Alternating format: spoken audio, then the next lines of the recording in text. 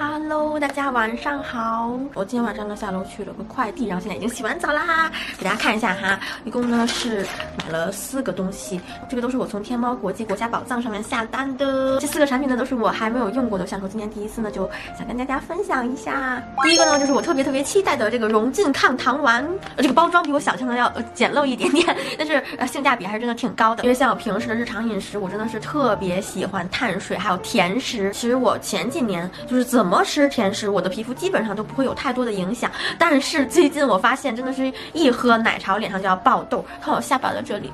我觉得真的是到了一定的年龄之后，尤其是我过了本命年，就是抗糖化还真的是挺重要的。我也看很多明星啊，他们也都在分享抗糖化这些的内容。但是呢，就是一般我们每天吃的中餐啊，这些就是好吃的东西，就是碳水还有糖，就真的是日常饮食里边很难去避免。所以呢，我这次就从上边买了这个抗糖丸，它里边呢一共是有六十粒，就是你早晚各吃一粒就可以了，一共是一个月的量。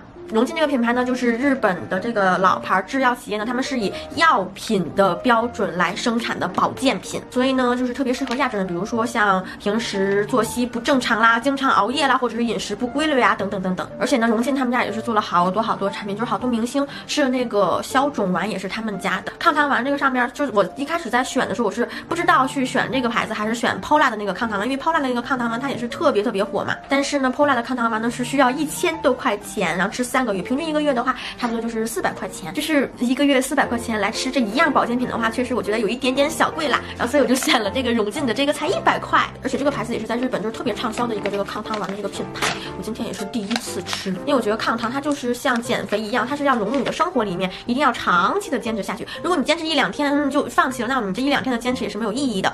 所以我觉得就是在价格上面还是选择就是自己能接受的范围内，然后你这样价格接受了，你才能更长远的把它给做好。嗯，这个闻起来没有什么味道。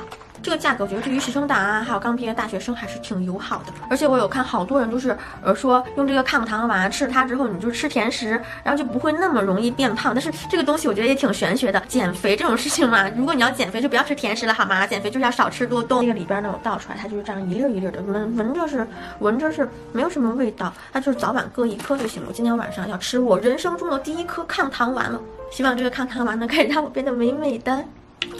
嗯，早晚吃一颗，然后也是我特别感兴趣的这个。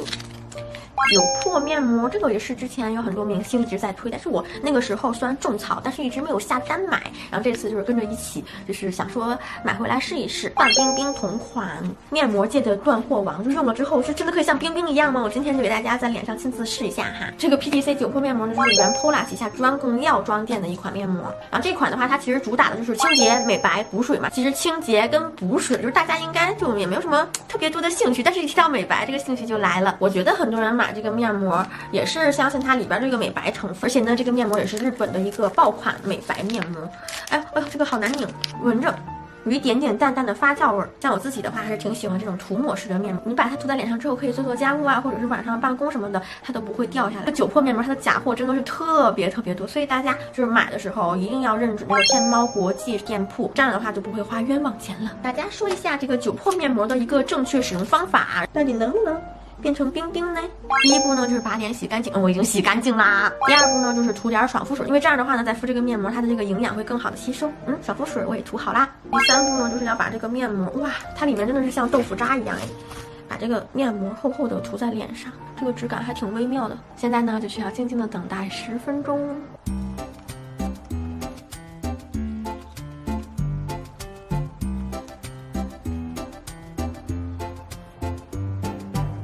十分钟之后呢，再用手这样画圈的形式按摩两到三分钟，这样呢，这时候就可以把脸上残留的彩妆啦、油垢啊给搓出来。按摩之后呢，再停留一两分钟，然后喷点水在脸上，再用化妆棉轻轻的给擦掉就可以了。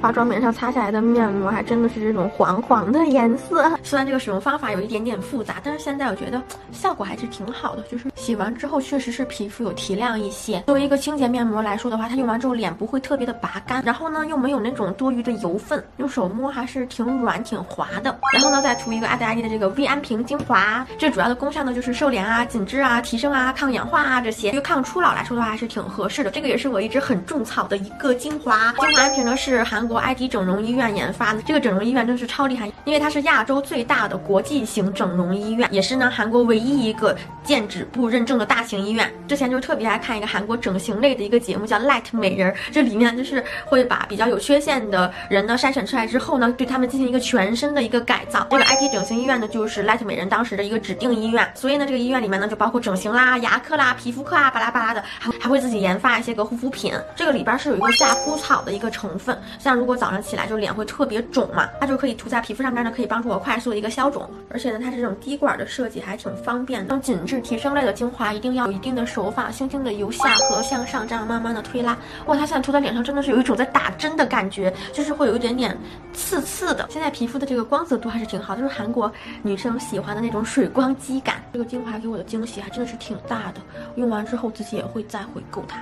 这个呢，就是我在天猫国际上面买的这个小众大牌啊，就是法国的这个一夜回春睡眠面膜。据说这个面膜哈，非常适合我这种干性皮肤啊，或者是敏感性皮肤，简直就是那种像我一样熬夜党的救星。这个牌子呢是联合利华旗下的法国高奢护肤品，它是由一个法国微电子学博士耗资千万欧元创建的。真的，这个牌子在法国真的特别火，就几乎是每一分钟都会有一个人去购买它。这个一夜回春面膜呢，是他们家这个牌子的。一个人气爆款，我看好多明星也都推荐了这个面膜，特别适合像干性皮肤呀，还有熬夜性的皮肤。它就像个面霜一样，这个睡眠面膜呢可以多涂一点，就这个睡眠面膜就把它这样真正的涂在脸上之后，也不用按摩呀什么的，它就会自然的成膜，它就真的就像一个面霜一样。作为一个睡眠面膜来说的话，真的是完全不用担心它会粘枕头啊什么的，就平时也可以把它就是厚敷十五到二十分钟之后再洗干净，也可以作为一个急救面膜来用。它真的是很润，就是作为干皮真的是特别喜欢这种感觉。我一会儿呢想要这样去睡觉啦。我还挺期待它在我皮肤上边的，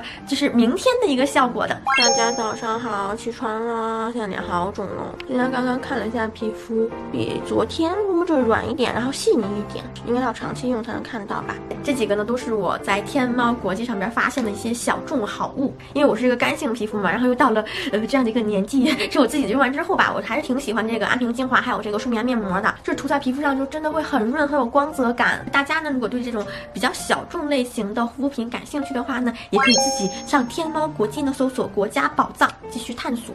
护肤品呢一定要选择适合自己的，就也不是说你要去选啊大牌啊，或者是那种很高端的产品，它那种小众的品牌呢，其实效果也是很不错的，而且我觉得性价比还真的还挺高的。好啦，那我一会儿呢就睡觉啦，大家晚安。